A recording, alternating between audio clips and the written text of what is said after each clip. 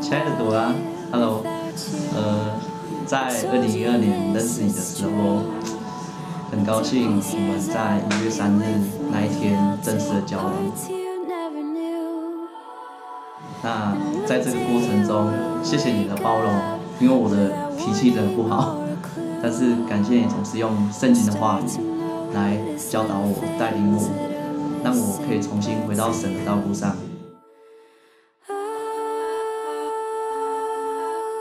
将来，我一定会承担起一个丈夫该有的责任，陪伴着你，保保护着你，让我们一起携手共度一生。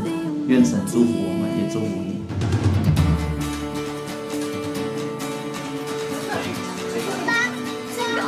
不好意思，我爱妈妈的。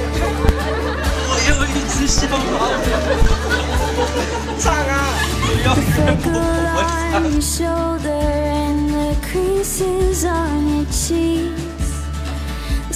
Scar upon your forehead, and you whisper when you speak. I took them cause I need you. I took them to be